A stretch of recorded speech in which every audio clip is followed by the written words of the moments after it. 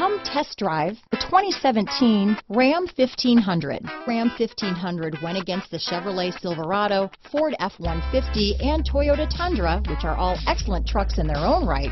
The Ram took home the prize for its well-rounded strengths. This vehicle has less than 40,000 miles. Here are some of this vehicle's great options.